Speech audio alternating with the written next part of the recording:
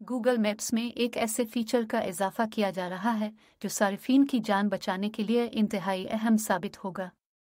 नौ to पाँच Google की report के मुताबिक गूगल मैप्स में सेटेलाइट कनेक्शन के फीचर पर काम किया जा रहा है, ताकि सार्फिन ऐसे मकाम पर भी इस सर्विस को इस्तेमाल कर सकें जहाँ मोबाइल और वाईफाई नेटवर्क से कनेक्ट करना मुमकिन नहीं होता।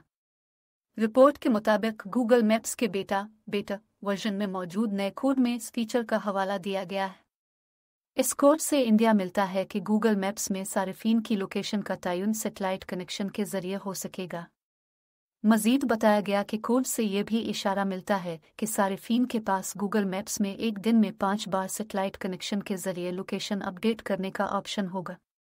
ये फीचर ऐसे हालात में जान बचाने में मददगार साबित होगा जब मोबाइल और वाईफाई सिग्नल दस्तियाब नहीं होंगे। मगर ये फीचर सिर्फ़ उन फोन्स में ही काम करेगा, जिनमें सेटेलाइट कनेक्टिविटी की सहूलत मौजूद होगी। गूगल के नए फोन्स में मुमकिन तौर पर यह ऑप्शन मौजूद होगा, मगर दीगर एंड्राइड कंपनियों में इस हवाले से कितना काम किया जा रहा है, ये अभी कहना मुश्किल है।